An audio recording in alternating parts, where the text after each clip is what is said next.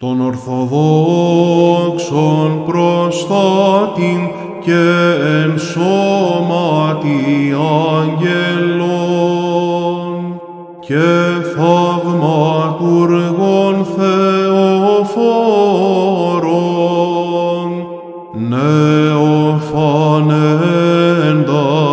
ημίν. Επενέσομεν πιστή θείων γεράσιμων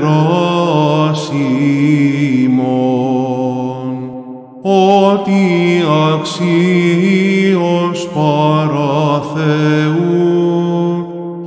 απειλήφεν η αμάτων την αέναον χάριν ρώνηση τους νοσούντας, δαιμονώντας ιάτε, διό και της τιμός βρει αυτόν,